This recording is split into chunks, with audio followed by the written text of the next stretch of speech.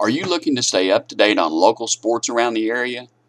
Download Waxahachie's Sports Blitz app for your Apple or Android smartphone or tablet. It's the best way to stay in the know while you're on the go.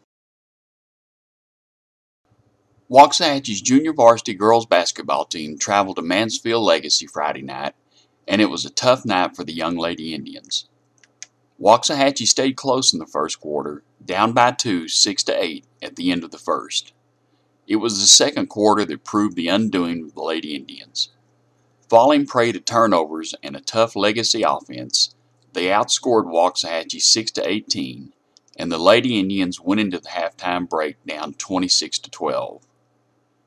Waxahachie stayed close in the second half, with Legacy outscoring Waxahachie 14 to 12 and Legacy came away with a 40 to 24 win over the Lady Indians JV team.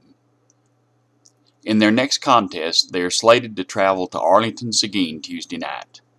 For a complete rundown of Lady Indian basketball, pick up a copy of the Waxahachie Daily Light or read it online at waxahachietx.com.